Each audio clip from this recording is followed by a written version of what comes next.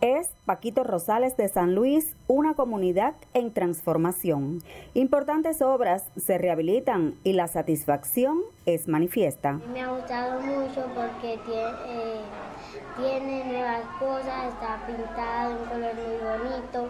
A mi escuela el color que tiene le queda muy bien y también me ha gustado el parque por, los, por las nuevas canales arregladas. Está muy bonita, tenemos que cuidarla, no podemos dejar que nadie lo rompa ni nada, porque han puesto el parque lindo, tenemos que cuidar las persianas de la escuela, la puerta no lo podemos romper, tenemos que cuidar la limpieza, no podemos pasar corriendo. En Paquito Rosales son muchos los involucrados en el cambio de imagen de espacios.